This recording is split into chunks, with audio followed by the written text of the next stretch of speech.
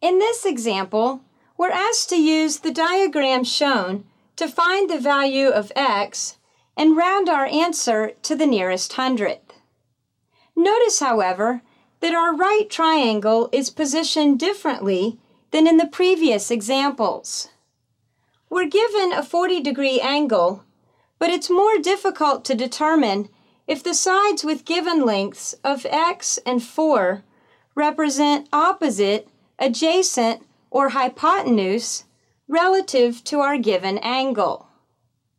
Remember that the hypotenuse is always the side opposite the right angle, so our hypotenuse must be the side with a length of 4.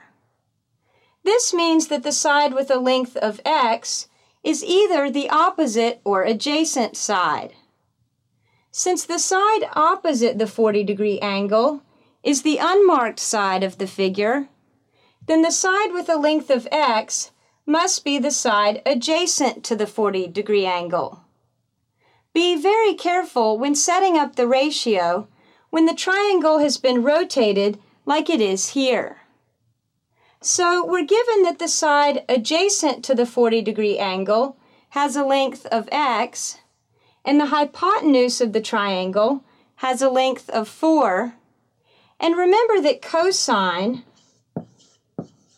equals adjacent over hypotenuse. So we can set up the equation cosine of 40 degrees equals x over 4.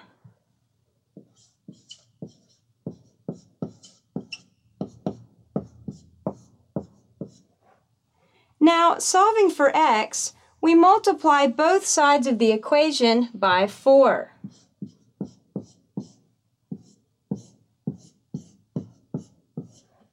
On the right side, the 4's cancel and we're left with x. And on the left side, we have 4 times the cosine of 40 degrees.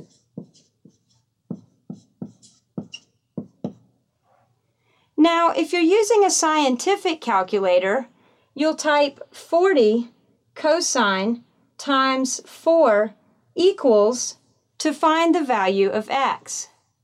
And if you're using a graphing calculator, you'll type 4 times cosine 40, enter, to find the value of x. Either way, we find that 3.06417 equals x.